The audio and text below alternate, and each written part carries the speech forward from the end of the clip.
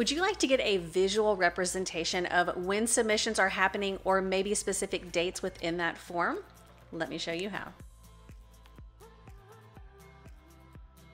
Hey Jotformers, welcome back. I'm Kimberly and I currently have a form ready to go. It's a volunteer sign up form. So we can see down here at the bottom, I have a date picker.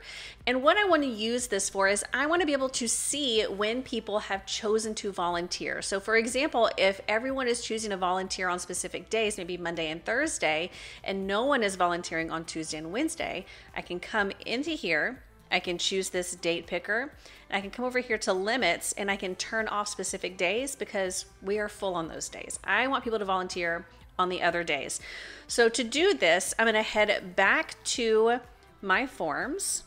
Then from here, I'm going to click the checkbox next to the form that I want. Then up at the top, we're going to choose reports, then create a new port. Then if we scroll down, we're going to choose the calendar listing, and from here, what it's going to show us is when the form was submitted because we can see right here the date field is the submission date, but I want it to be when would they like to volunteer. So I'm going to go ahead and choose this one right here. So it's going to show us the date that they want to volunteer and their name. So this is good for me. If you want to add anything else, you can definitely do that. But I'm going to go and choose create and then let's open this report.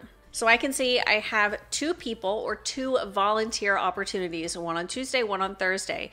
If we click on it, we can expand and we can see who is asking to volunteer or who is scheduled to volunteer. And it's as simple as that. If you have any questions about utilizing the calendar report to visually see your submission data, let us know and I'll see you next time.